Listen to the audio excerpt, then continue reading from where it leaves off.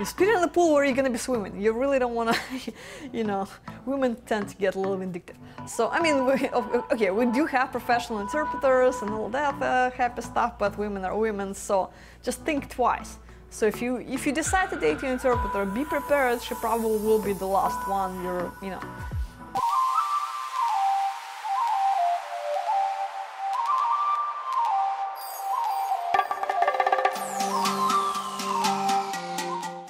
Uh, from Bob, can we date our interpreters? Yes, if they're not married, if they're not in a relationship. Uh, the problem, you know, and if you're really sure that's the that's the person for you. The problem is if you start dating your relationship, you create a lot of drama. Because what if it does not work out between you and her? You know, you, you know, just, you know, you spit in the pool where you're gonna be swimming. You really don't wanna, you know, women tend to get a little vindictive. So, I mean, we, okay, we do have professional interpreters and all that uh, happy stuff, but women are women, so just think twice. So if you if you decide to date your interpreter, be prepared. She probably will be the last one you're, you know, uh, will be dating on this tour. Yeah. Otherwise, if you consider dating more people other than this girl, I would not, you know, just date whom you're supposed to date and save her for the last. If, if no, if it doesn't work out with others, you'll get, get back to your interpreter. Just don't create a lot of mess there, because, you know, women, drama, eh, you don't need that.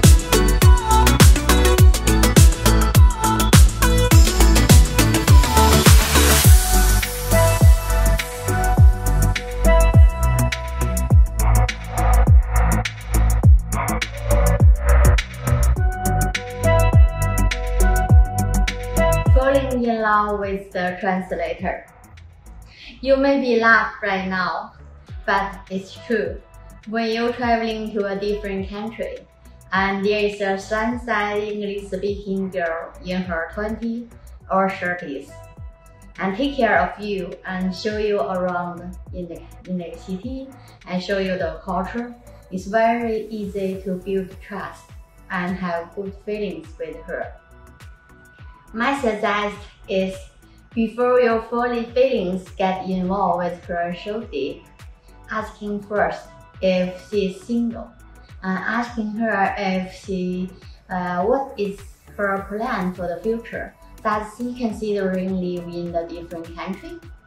And does she want to marry to a Western man?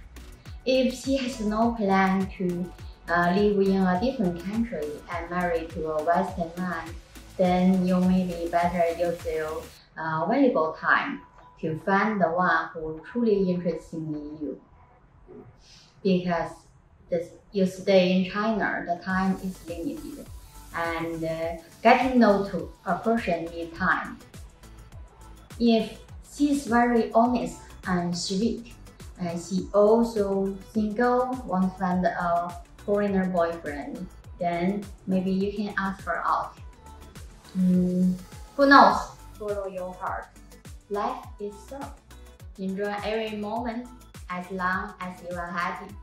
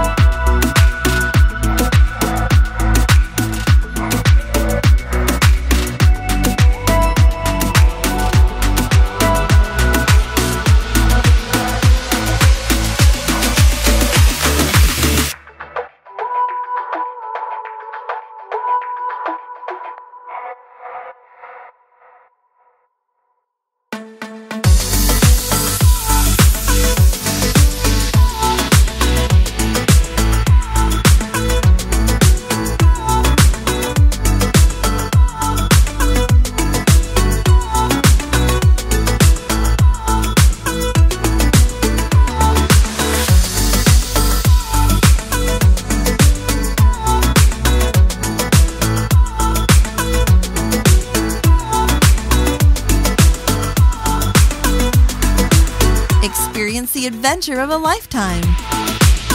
Interested? Learn more at china-brides.com.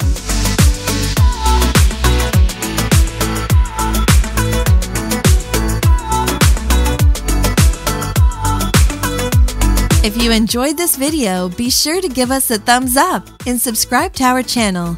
Then click on the notice bell to get notified every time we add something new.